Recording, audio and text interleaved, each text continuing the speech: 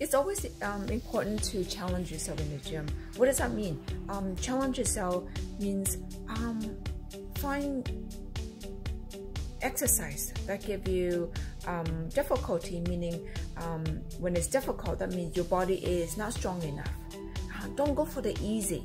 When something's easy, your body is not growing. So uh, if you're in a gym, if you want to, if you are with a trainer, let him know. Let him know that the exercise is too easy for you, or else you're wasting your money and wasting your time.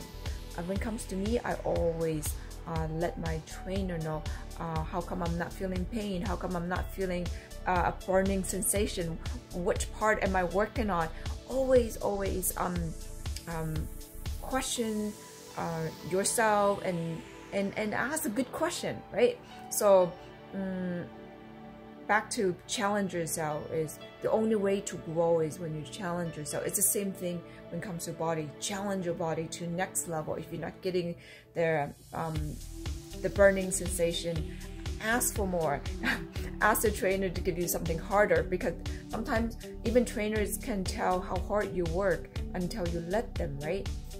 So um, do that next time if you're not getting the workout. If you're not sweating, uh, sometimes I, I get some exercise and I don't sweat. I wonder why, and then and then maybe I'm not working hard enough, even though it's the same exercise. Maybe you maybe you're stronger now. So always ask and challenge yourself to get better